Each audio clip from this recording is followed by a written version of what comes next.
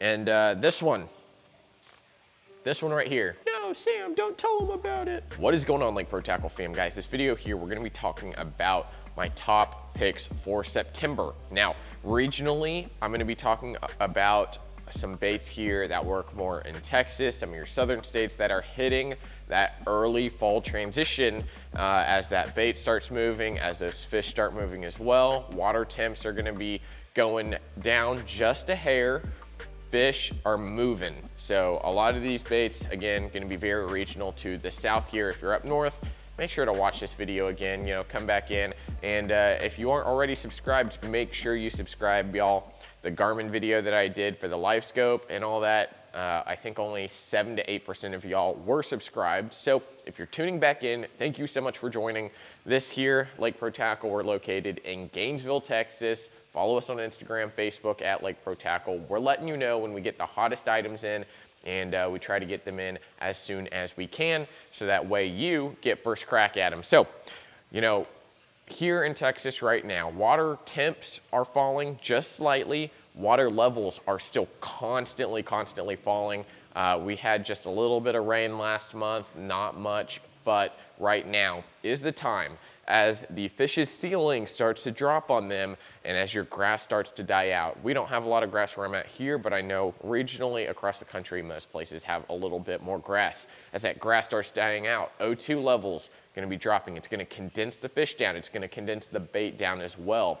Thermoclines are well established, so fish have to be within a certain range we want to make sure we can hit that. Now, right now, one, it's one of the trickiest times of the year. I'm going to be completely honest. Fish can be everywhere and nowhere at the same time. It is very strange. Feeding windows open up and you want to be throwing the baits that give you the highest percentage and the chance at the biggest fish in that area. So we're gonna be determining uh, a lot of these lures based on catch percentage as well as um, higher percentage bigger fish, right? So we're gonna be throwing a couple lures here that are known to catch big fish. We're gonna be throwing a couple lures that are known to just catch fish overall.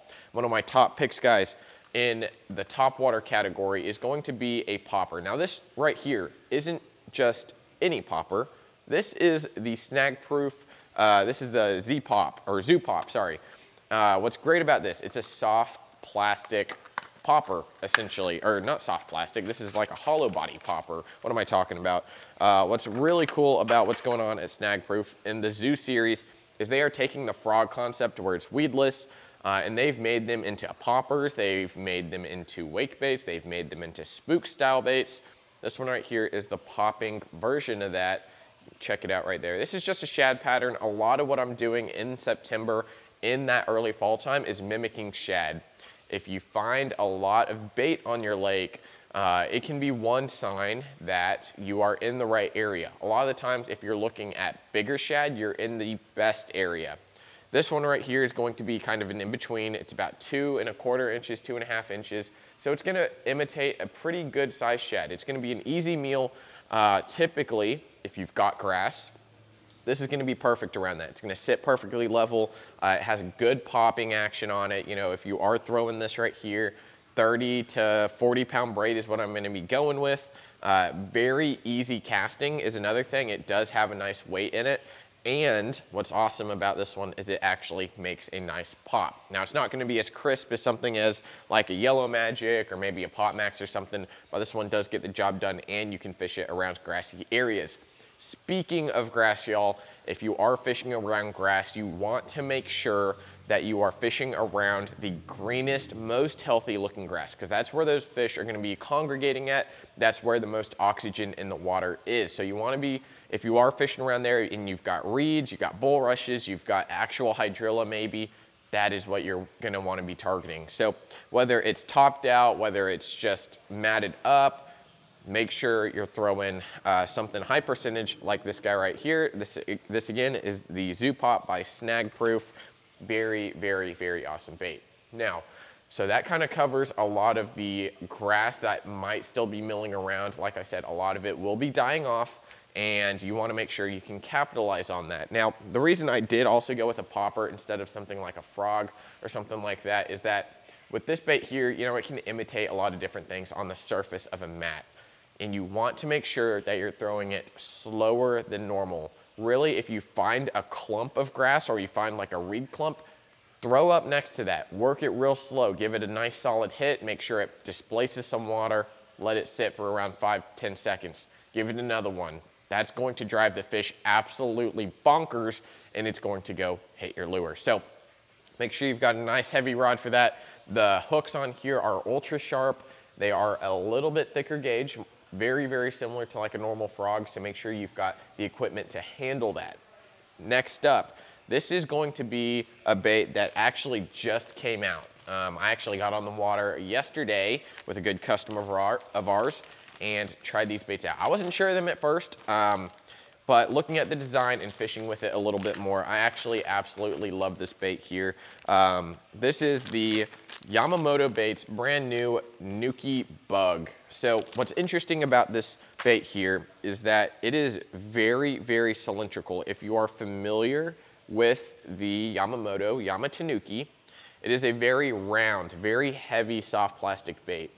This guy right here, honestly, not that heavy. You can't really throw this like you would a Yamatanuki. Now, weightless, yes, it does have a kind of little spiral effect depending on how you rig it up. It still has two hook chambers in it, one on the top there and one on the bottom. It's actually symmetrical, so you can rig it up however you want.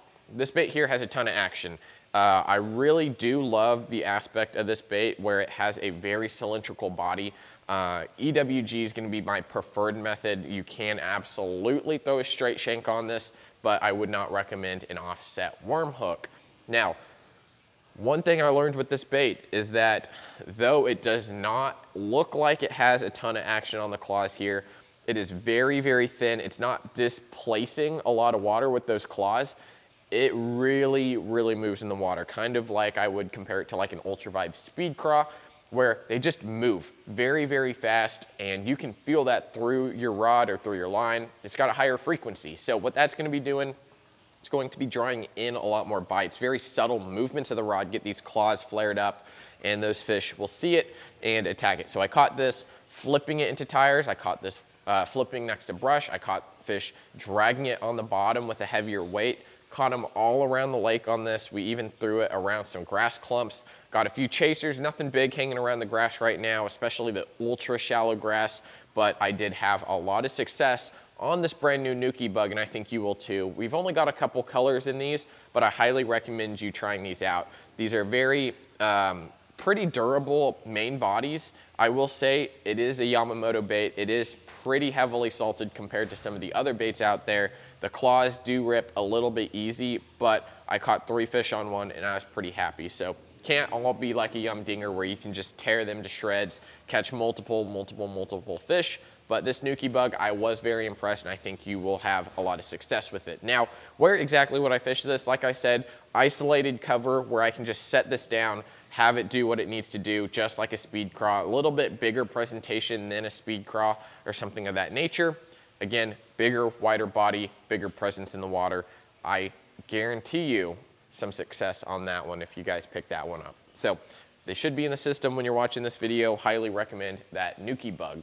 So that's a craw profile. And you know, right now bass are feeding up on some crawfish. Uh, a lot of the crawfish are still burrowed up pretty good. Some of them will be coming out later in the fall here as the water starts to cool down more and more.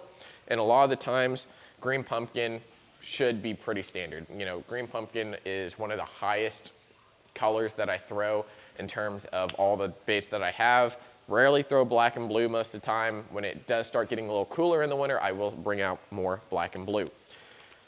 Speaking of more soft plastics here, in a worm profile, this one right here has done a lot of damage for me lately. This is the Big Bite Baits Nekorama, of course, designed by one of my good buddies, Drew Gill. I'm not just including it in this video for Drew, but this is actually a really, really awesome bait. It is very similar to something like a hitworm, except this one actually moves around a little more. You get a little more action out of it.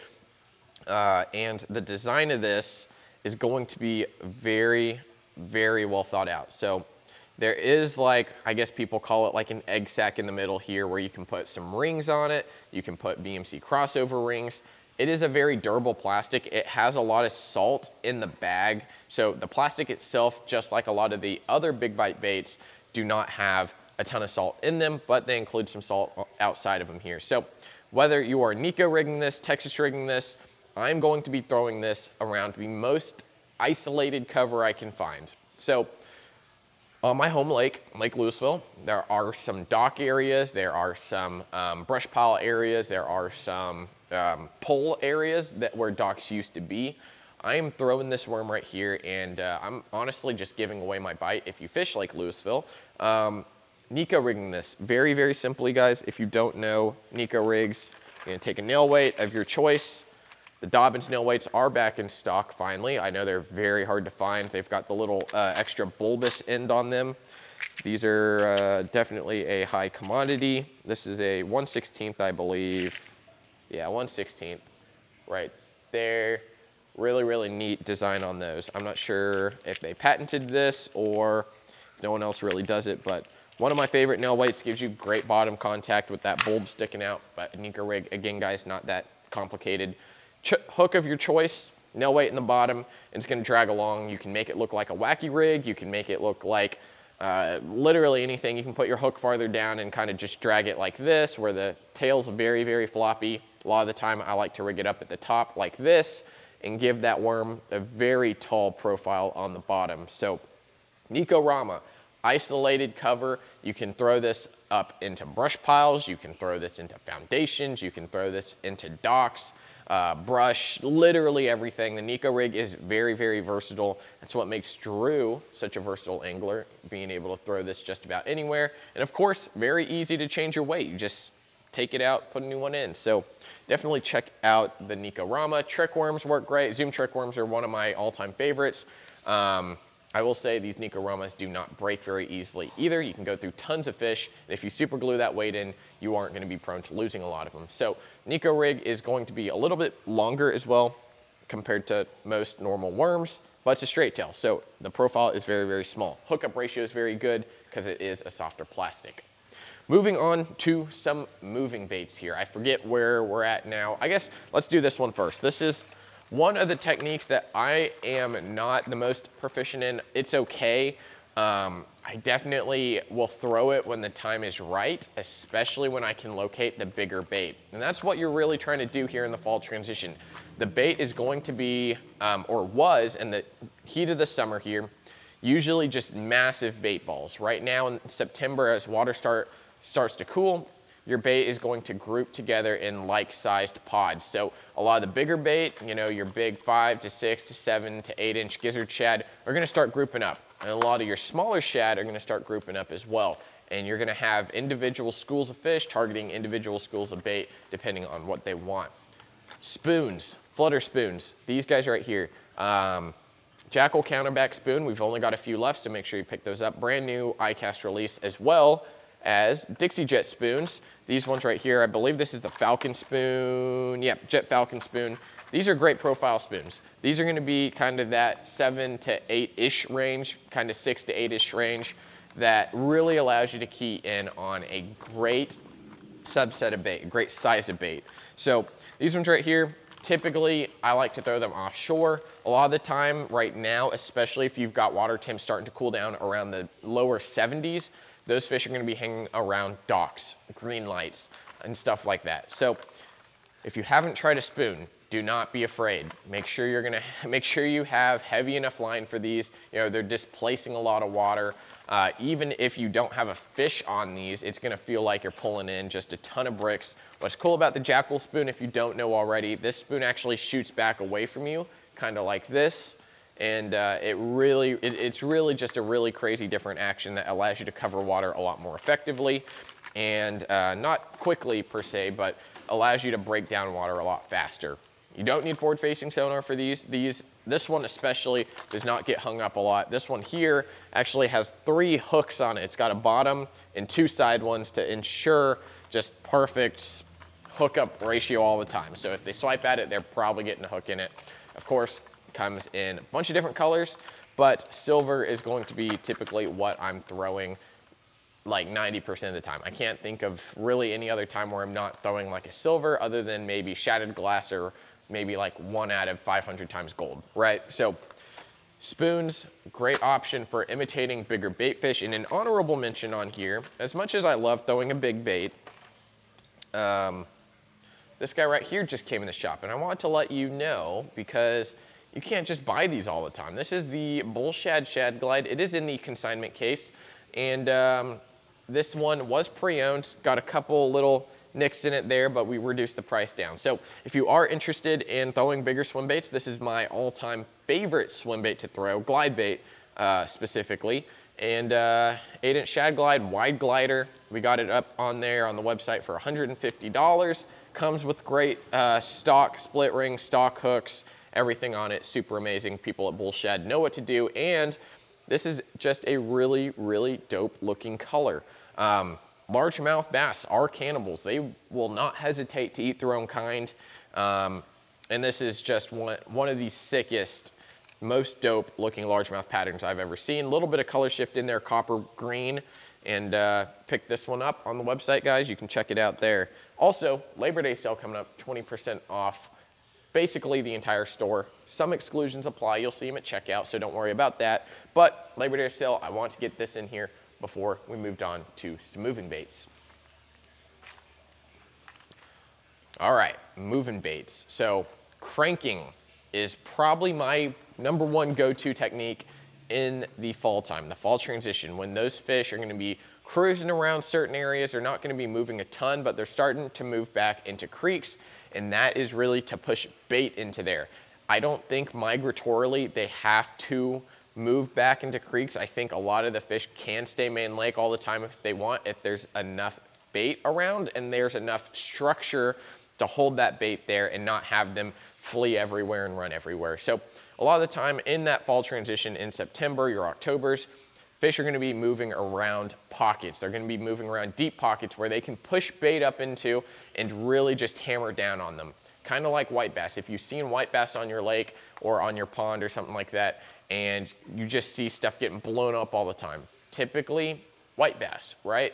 A lot of the time they can be largemouth as well. I've seen several instances where just hundreds of one to two pound largemouth group up and just start pushing bait, uh, especially the smaller bait into little pockets and stuff like that. And I have just gone out there, absolutely smashed them, thrown a spook, like anything in the water that was white, absolutely crushed them, just catch them all that all night long essentially. Usually happens early morning or late in the evening when it starts to cool off. One of the more unique crankbaits to come in the shop here, this is the Nishine Chippawa, baby Chippawa deep diver. What's unique about these, I've done a video on these kind of explaining what's going on with the blade and everything.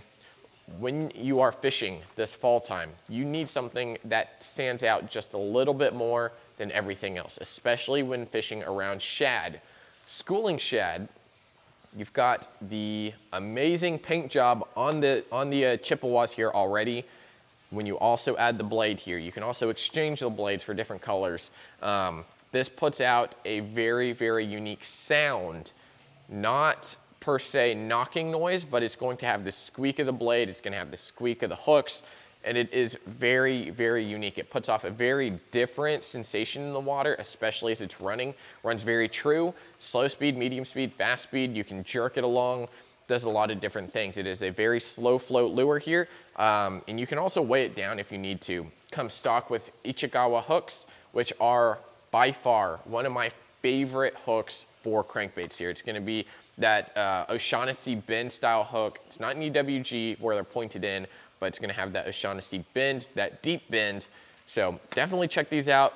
Um, these are a little bit harder to throw, so I wanna make sure that you pick up the right um, rod and reel for these. Make sure you have a rod that can load up enough to really start moving this bait. Get, out, get all that potential energy in there and sling it out. Highly recommend a Daiwa reel that has SV boost in it. Uh, 100 size reel perhaps, maybe the brand new Tatula 100 SVTW with SV Boost or something like a uh, Curado MGL. Uh, one of those Magnum Light reel or Magnum Light spools, 150 or 70. Those are gonna be my two very budget friendly bait casters for this bait here. You can also throw it optionally on spinning, you know. We're not gonna judge you for that. You can throw it on a spinning rod, especially this baby one here. And uh, this one, this one right here. No, Sam, don't tell them about it. Don't worry, I got you guys. This guy right here. This is a finesse crankbait. And this is made by Megabass. This is the Megabass IXI Type 3. This bait here gets down to around 2.3 meters, reality around eight to nine foot, uh, depending on your line size. This one here, very, very specific.